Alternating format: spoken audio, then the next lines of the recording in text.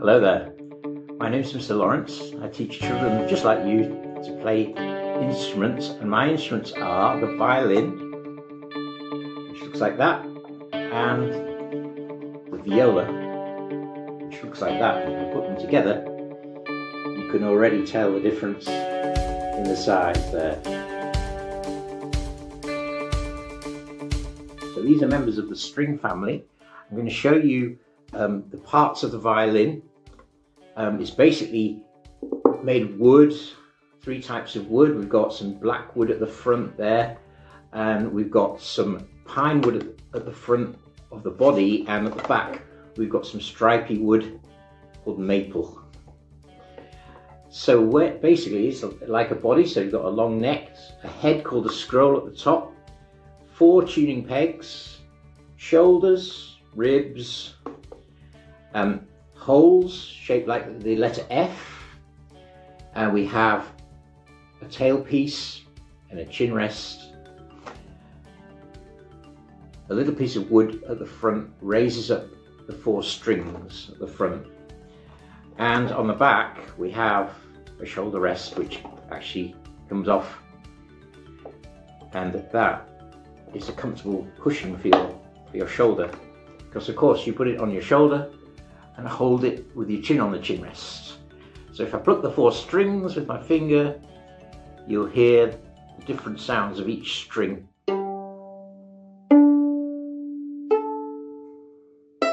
And you can hear the last one was much higher than the first one. That's because they're different thicknesses. So thick strings play the lowest notes and as they get thinner, they get higher to the thinnest one at the top there. I'm going to show you the strings on the viola because they're different to the violin. In fact, you'll hear the difference. Look at the same way, but the first string is much deeper than the violin's first string. They are getting higher, but it can only go up to that pitch. So it, the viola is a deeper sounding instrument than, than the violin because its box is bigger, its body is bigger, and its strings are longer and thicker. So once again, you can tell the difference between the two. So, how do you play the violin and viola? What do you need? Well, you need one of these things that I'm waving about in front of me called a bow. And a bow is a thin stick of wood with some white hair attached to the end. And if I put my hair of the bow onto the strings, it should make a sound. But actually, I can hardly hear anything at all. That's because you can see the hair is very, very um, slack. So what we need to do is to put this bow together properly and tighten the hair. And of course, some of you will already know that this hair comes from the horse's tail. So I'm winding the hair and as soon as I put this pin into the end of the bow, I can turn it and it's already pulling the horse hair much tighter. I don't know whether you can see that's much tighter now. It's tight enough when you can get your little finger kind of in the middle of the bow there. So now I'm ready to play the four strings on my violin once again and you'll hear the difference with the bow now.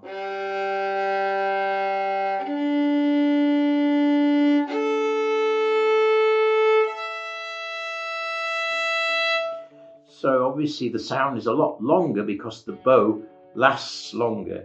Makes the sound uh, much longer than plucking. The sound has disappeared.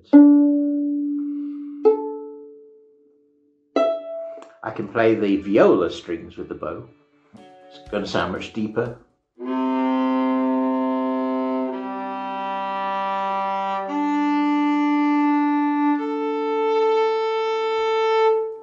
Just like that. So now I've got my bow tightened up, violin to my chin. You can play all kinds of music on the violin, um, play classical music like this.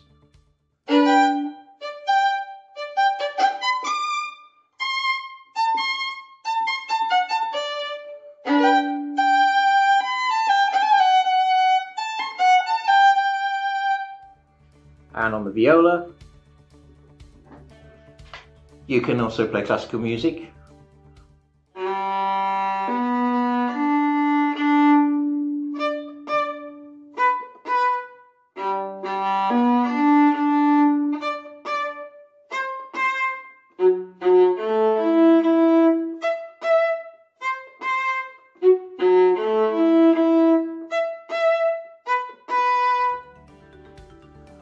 Violin, you can play a bit of folk music like this.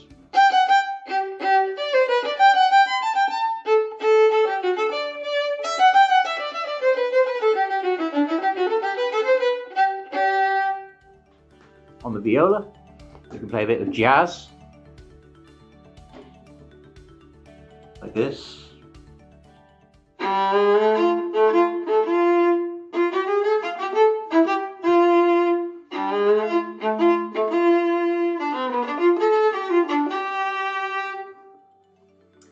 And you might have noticed my fingers were going really fast on the strings. And I haven't told you why that is. So basically, each um, string can have four fingers on it.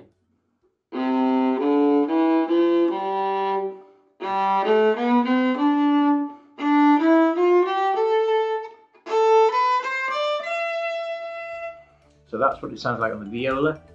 Uh, on the violin, it would sound higher, but the four fingers gives you all of the notes you need to make all of these songs that I've been playing. You can play music off TV, um, from cartoons like the Pink Panther.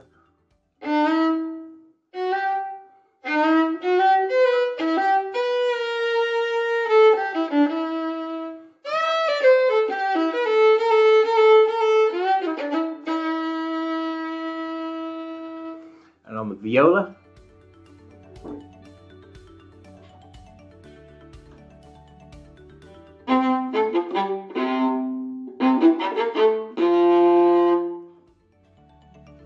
So on the violin, you can play film music like this.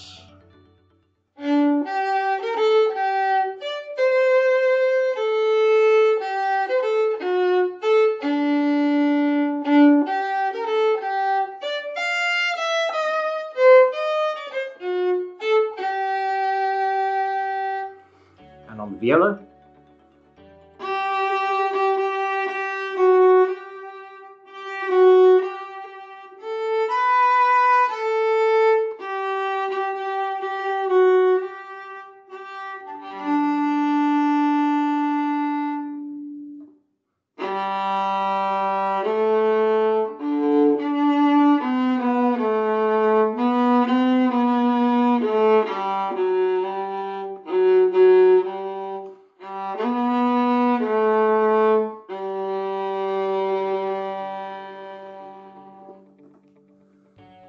course, it takes a lot of practice to play the violin and viola.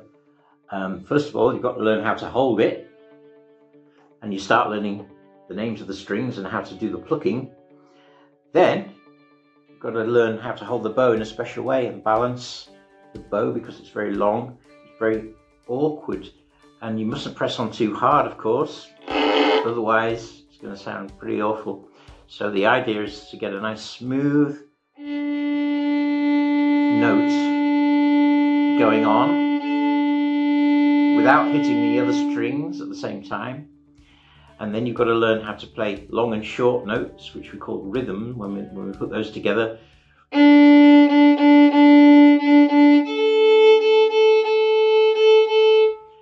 And then we've got to learn how to do each finger on every string. So that's going to take probably about a year to to put all of that together and get confident on that. So you've got to decide if you're going to learn these instruments, whether you have enough time to do some practice, you're not too busy with other activities and so on. If you would like to learn the violin or viola, please ask your teachers uh, for the information which I'll have given them on how you can join and hopefully see some of you learning these instruments very soon. Thanks for watching.